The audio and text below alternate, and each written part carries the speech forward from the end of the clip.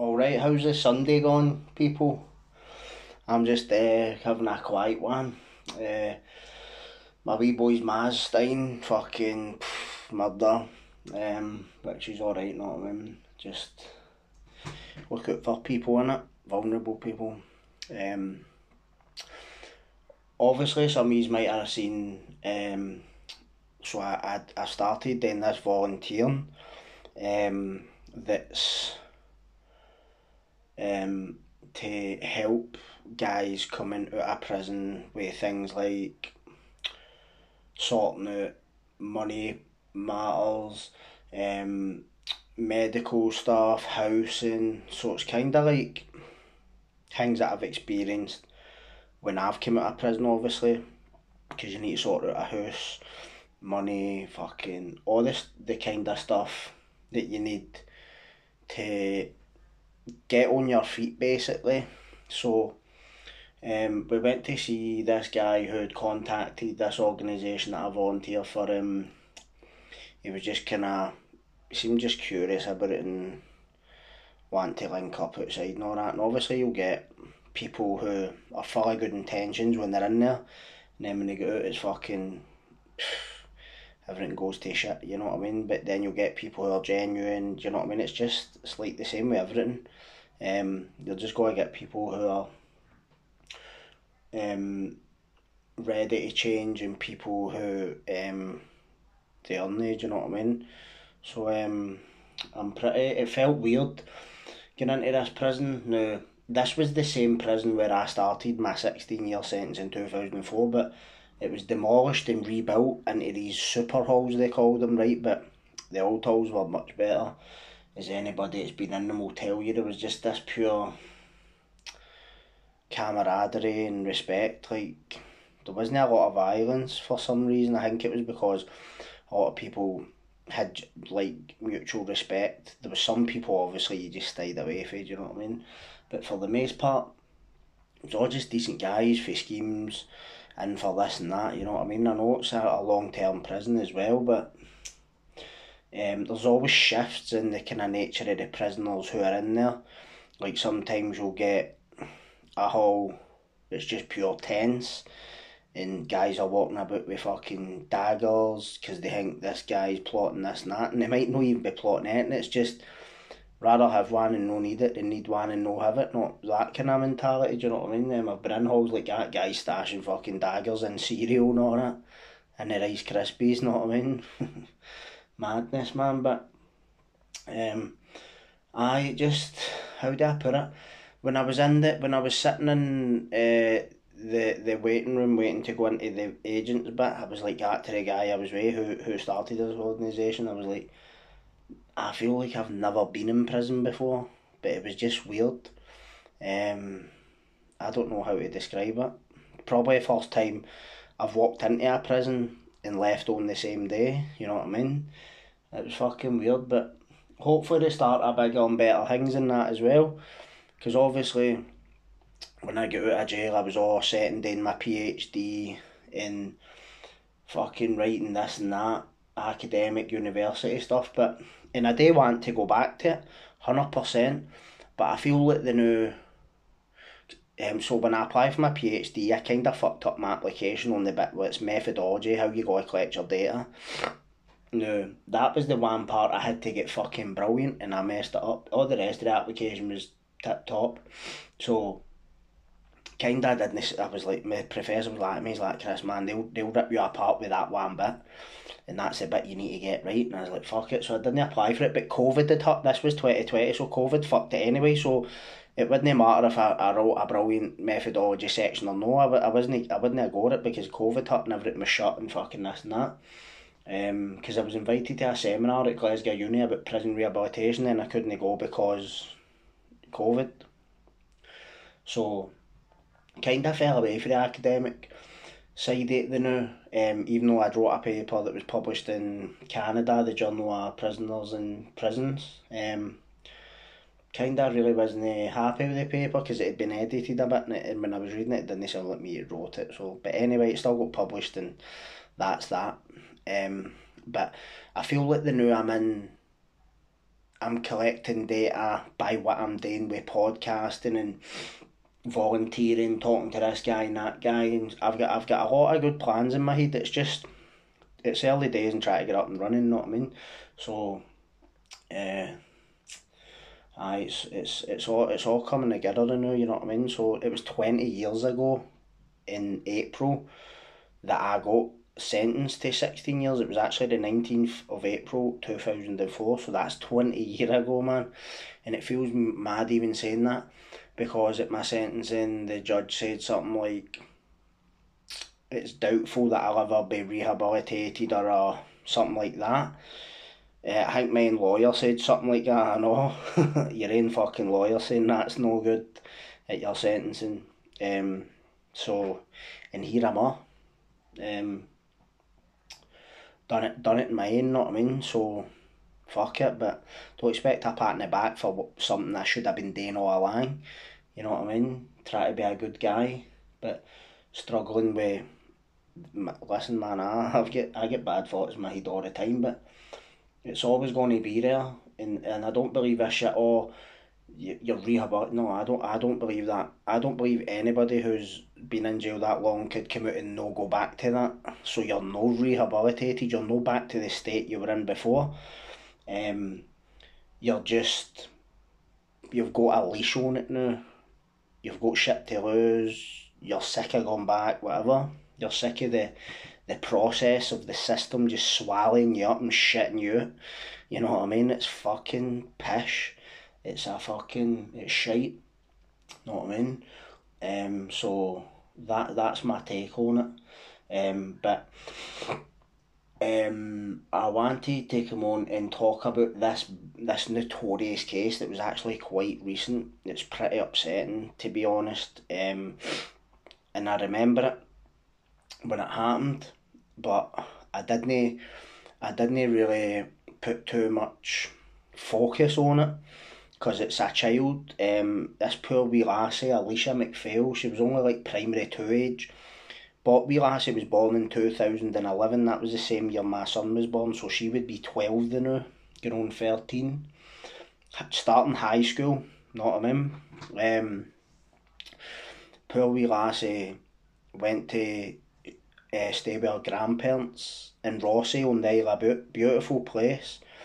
The last place you would expect a murder, let alone a child abduction and murder. Um, and I think that was one of the reasons it was so. I think it added to the notoriety of the case because it's like quite quiet and tranquil and the scenery. Um, but it just shows you that no matter what kind of community you're in, there's always going to be dark forces, people who have really, really dark, horrible thoughts, urges, and impulses. Like, I'm not going to lie, right? We all have impulses and dark thoughts and all. Like, mine's are just.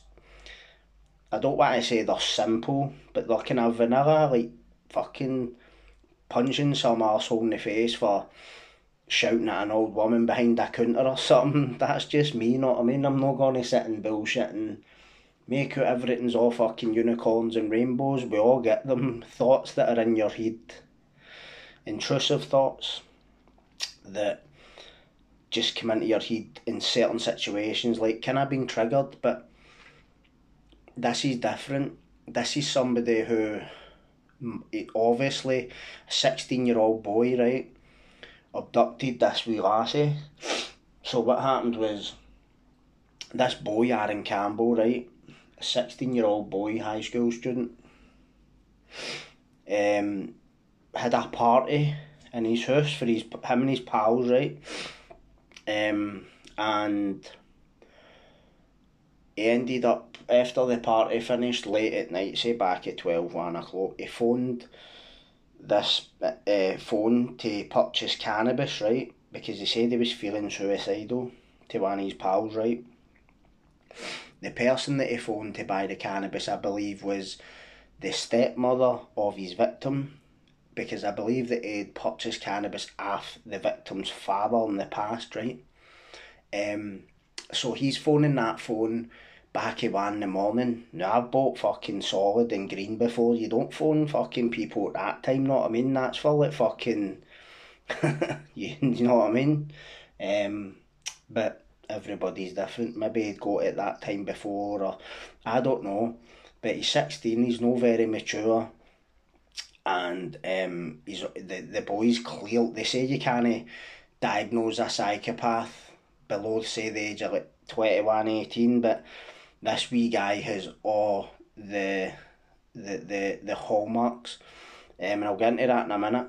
But um, he'd, he'd, he'd phoned to buy cannabis. He didn't get an answer. So what he did was armed himself with a kitchen knife and um, walked to the home of the individual who he had phoned to buy the cannabis for, right? So he entered the house, the door, the front door was unlocked, so it's because of the kind of community it is. I think let's one of the ones, leave your door on, we can leave our doors unlocked, nothing ever happens here. I think the biggest crime maybe was somebody fucking breaking into a shed and stealing the lawnmower or something, which is the kind of community you'd want to live in if I'm honest. Um, and what he did was entered the bedroom of the wee lassie Alesha and basically lifted her out of bed and uh, so abduction at this point. He's committed a child abduction.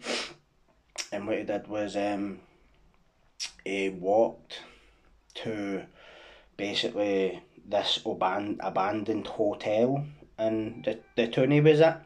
And basically um, he's committed these horrendous horrendous sexual acts um, that I believe were just absolutely horrendous man um, for what I've heard uh, not really want to go too deep into it but the wee lassie had 117 separate injuries she had been raped um, vaginally and anally um, there was tears like just absolutely horrendous. Um, I believe there was injuries to the neck and the spinal cord, um, which would be indicative of being like fucking throttled, like shook, like so the anger and the rage that that must take to be able to kind of perpetrate that. And one of the one of the things was that he'd said to psychologists after it, he said um when I seen this wee lassie, this six year old wee lassie, all I could think about was killing her. Now, how how does that kind of how does that kind of thought come about? Now, I've had a lot of fucked up thoughts, right? But I've never once in my fucking life ever looked at a child and thought to myself, I want to kill you. Um, it's just fucking, it's another level, it's like another planet of criminality in it you just look at somebody like that and think, you have got no reason to be breathing, you have got no reason to be walking this earth, you're just a fucking demon and you need sorted. Um, so what happened was he'd went home, got changed, um, fucking flung away his own clothes, the wee lassie's clothes, the wee lass, there was a, so he went home, showered and all that, but his ma seen him leaving on CCTV and all that, right? because the wee lassie was fun about six in the morning. Well, no, no, she wasn't fun at six in the morning. What happened was the grandpa got out of his bed for work and saw that she wasn't in. They searched the house, notified the cops. There's this big search over the island looking for a helicopters, fucking the, the works. And then what's happened is um, the woman who he messaged for the cannabis has saw the missed calls film and texted him back and says, What what do you want?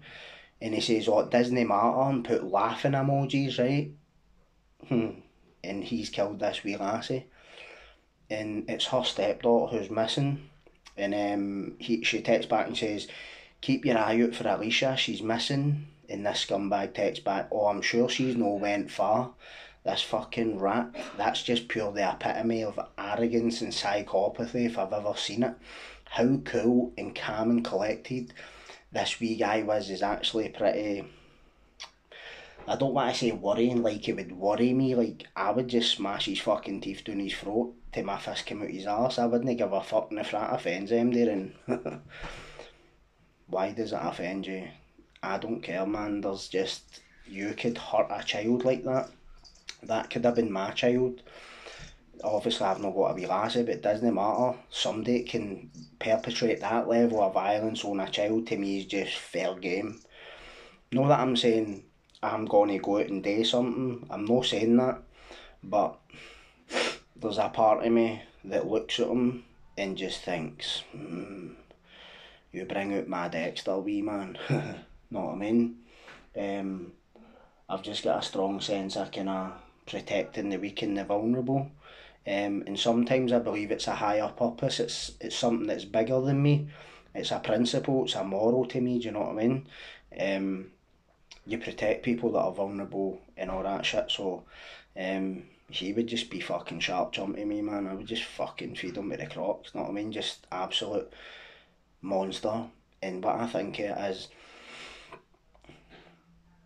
he obviously like I think I don't know right, but I think he might be an anger excitation rapist, somebody who is basically just loves seeing his victim being terrified, man. And this wee lassie was alive during some of this attack. Um, and to think that the horror and the pain this wee six year old lassie must have went through is just absolutely fucking mind numbing. Um, I just couldn't imagine what the parents have gone through. It must just be a fucking nightmare that you just wish you're going to wake up for, but and I would and my heart goes out to them. Um, if any of them ever see this, my heart goes out to you, and I can't imagine what you're going through. Um, but I hope you can manage it day to day. Just get your I know it sounds fucked up, but um, that's a six year old wee lassie with her whole life in front of her, and this fucking sick wee rat bag has done that because he said he was texting people saying, I want, I've always wanted to experience a murder, like as if it was some existential fucking exercise that he wanted to like say like taking fucking some drug it's just going to give this outer body experience. Like what kind of mentality is that to commit a murder because you want the experience do you know what I mean? Um, and I believe that what he done was he was on a Snapchat group. Now this is creepy. He was on a Snapchat group while they, they were look they'd not been arrested yet and he took a video his cell looking in the mirror and put it on a Snapchat group and said I found the guy who killed her, like, and it was him, like, just playing the cat and mouse, like, you don't know I done this, like, it's like, I did it, but I didn't do it, like, just, the wee guy reeks of absolute psychopathy and narcissism. I believe that when he was in the dock, he was just showing the emotion, listen to this, the wee fucking scumbag even gave evidence in his defence, right, and he was in the witness box giving evidence, and when he was being cross examined, he claimed that it was the stepma who killed the wee lassie and um, said that he'd had sex with her and she was jealous of him and but that isn't what was that's just that that's just the height of arrogance but in in cunning manipulativeness but what it also what it also reeks is the calmness with which he delivered that evidence. Um, I, I don't know how how um, that takes a, another level of just pure psychopathy, man, to be able to murder a six year old wee lassie, try and cover it up, storm in the witness box and give evidence and make up this fucking fantastical story about how it wasn't you and you're not even batting an eyelid. You're standing talking about it as if you got to the shop to buy a fucking tray of eggs and a fucking loaf of bread. There's just nothing there. Um, and the wee, the wee scumbag, Aaron Campbell, his name is, he was found guilty. Um, and I believe that the judge said it was doubtful he would ever be released because he was, I think he was making statements to a psychologist that he constantly fantasises about murdering children and having sex with corpses. Now, I've always wondered because there's obviously other cases where in fact, this is a weird one, right? See Ted Bundy, you've all heard of him. See the very first murder he was suspected of was actually a very similar case to Aaron Campbell's case. Now, what happened was this was the 1960s. This eight year old lassie, Anne Marie Burr, B U R R, went missing out her house, like the same way Alesha was abducted out her bed. So, somebody had come into the house during the night, lifted her out of bed, and she was never seen again. Now, this wee lassie's dad was a piano teacher, and I believe he taught Ted Bundy piano for a brief period, and the house was actually on Ted Bundy's paper route. He was 14 at the time. Now, he's strongly suspected of committing this murder, but he would never admit to it because it's a child. See, in American jails, even the screws will fucking stick their buttons up your ass. They don't give a fuck who they're. The screws are like cons, I know. So, under no circumstance was he ever going to admit to this murder, but everybody believes he done it, right? And I believe it too. And it was a very similar one to the one I'm talking about. Um, and what I also noticed was in Ted Bundy's later murders, the ones that, that have been confirmed, was actually him entering the house in the middle of the night and taking the victim for a bed, like bludgeoning her unconscious, and because they're adults, they're no six year old lasses, so they can put up a fight, fucking throw alarm clocks off your dome, whatever, they can fight back. So he was just bludgeoning them while they were sleeping, taking them out because he was a necrophiliac as well. He didn't like having sex with live victims. They had to be dead, and he was visiting the body dump sites and having sex with the corpses until they were too putrefied to touch, which a lot of people don't really know about the Ted Bundy case. He was actually a paedophile. Um, and that's what I laugh when I see like know how women oh he's dead handsome. Why is he? Fuck's sake, you'd be perfect for him. Don't get it at all. So I always wonder was um Aaron Campbell if he hadn't been apprehended for Alesha MacPhail's murder, would he have got the kind of taste for murder and would he have went on to target other children?